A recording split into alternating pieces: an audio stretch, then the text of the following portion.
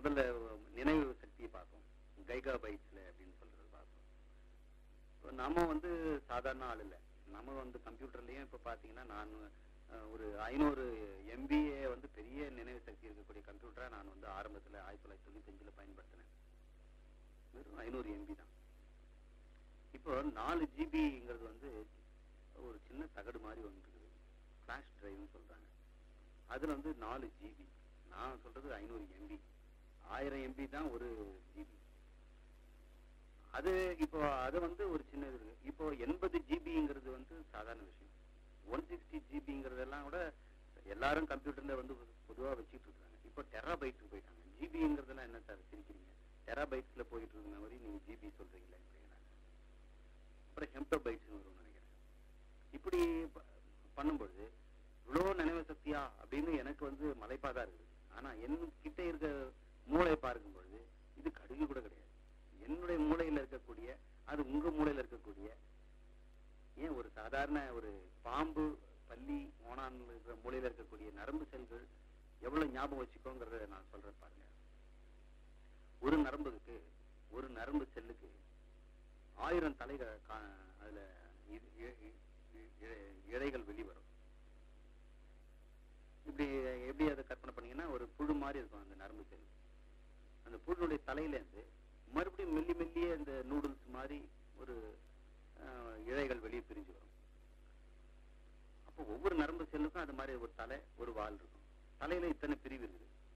சரி எத்தனை இது மாதிரி நரம்பு செல் இருக்குன்னு சொன்னா கிட்டத்தட்ட ஒரு ஹண்ட்ரட் பில்லியன் நரம்பு செல்கள் ஒரு மனுஷன் கிட்ட இருக்கும் அடல்ட் கிட்ட பிறக்கும்போது ஒரு ட்ரில்லியன் இருக்குங்கிறாங்க. அப்புறம் கொஞ்சம் கொஞ்சமா நரம்பு செல்கள் தானாவே அழிஞ்சு போயிடுது. அழிஞ்சிட்டு மிச்ச மீதி மட்டும் வீட்டு வைக்குது அதுதான் நினைவு.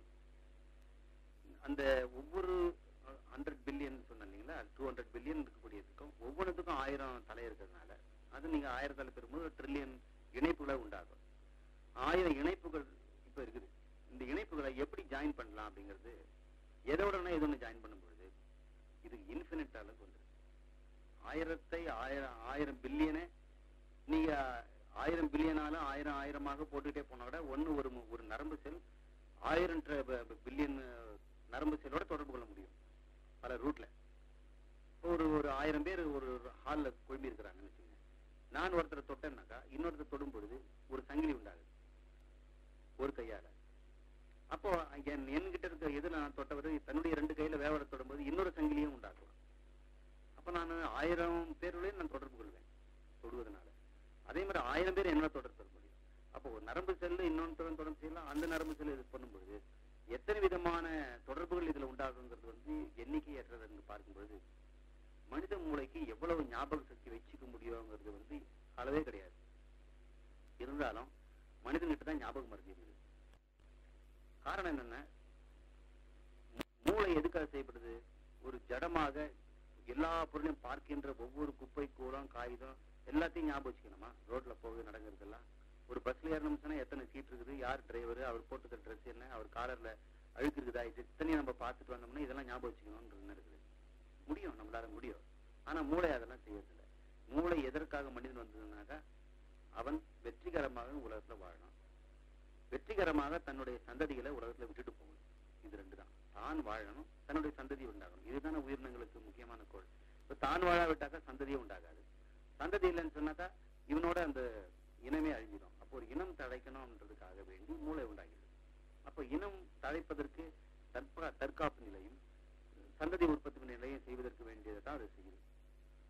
ஆனா அதை போயிட்டு நம்ம வந்து மேட்ரிக்ஸ் கால்குலேஷன்ஸ் அப்புறம் அஸ்ட்ரனாமிக்கல் நம்பர்ஸ் அப்புறம் பெயிண்டிங் ஓவியம் இப்படிலாம் நம்ம நிறைய விசேஷத்தை நம்ம வந்து மூளையில திணிக்கிறோம். மூளை அதுக்காக செய்யப்பட்டது அல்ல. ஆதி மனித மூளை வந்து தன் குழந்தைங்க அஞ்சு பேருன்னு ஞாபகம் வச்சுக்கணும் தான் வளர்க்கின்ற ஆடு மாடுகள் எத்தனைங்கிறத தன் ஞாபகம் வச்சுக்கணும் எத்தனை திருடு போயிடுச்சு எவன் நம்முடைய ஆடா அங்க இருக்குது? பக்கத்து கல கழனியில போய் ஒரு நெய்யறது யாருது எல்லாம் தெரிஞ்சுக்கிற நினைவு சக்தி வேணும்.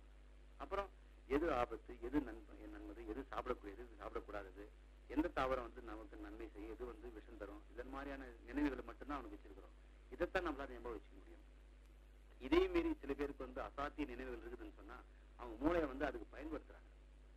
ஆனா மூளை அதுக்காக செய்யப்பட்டது இல்லை இருந்தாலும் அந்த மூளை நம்ம எதுக்கு வேணா பயன்படுத்த முடியாத அளவுக்கு அது வெர்சாலிட்டி அதுக்கிட்டே இருக்கு. இதுதான் நினைவை பத்தி நான்